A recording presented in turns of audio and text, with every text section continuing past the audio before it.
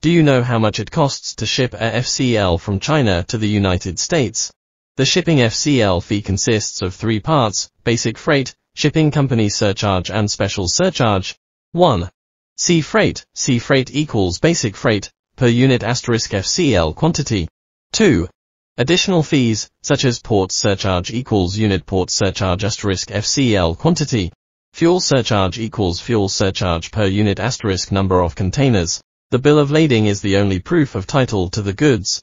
After the goods are declared through customs, the freight forwarder will issue the bill of lading to the shipper.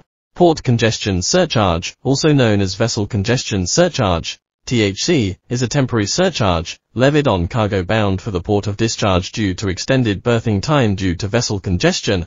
Fuel surcharges generally refer to the price at which fuel has been supplied at a price higher than normal or at a price higher than normal usage, such as due to high prices of wartime oil, or due to unpredictable events such as the last oil shock, and price rises etc.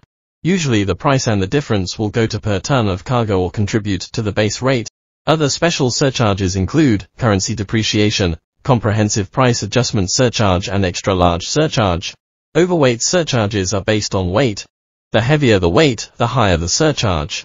In the case of transshipment, an additional fee will be charged per transshipment.